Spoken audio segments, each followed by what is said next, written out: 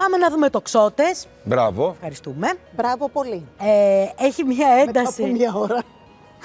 Έχει μία ένταση κυρίως σε θέματα που αφορούν τη δουλειά ή το σπίτι. Αυτή η Πανσέλινος α, στην Παρθένο και από την άλλη πλευρά έχει αυτό το χάσιμο. Όταν, ε, έχω πει πάρα πολλές φορές, όταν έχουμε όψεις με Ποσειδώνα, υπάρχει αυτό το ότι δεν ξέρω και ακριβώς τι γίνεται. Δηλαδή, ε, μ, τα σενάρια πάντα είναι...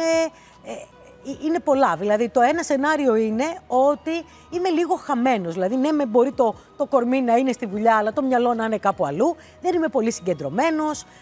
Ή μπορεί να έχω μία αίσθηση σύγχυσης για το πώς εξελίσσονται τα πράγματα.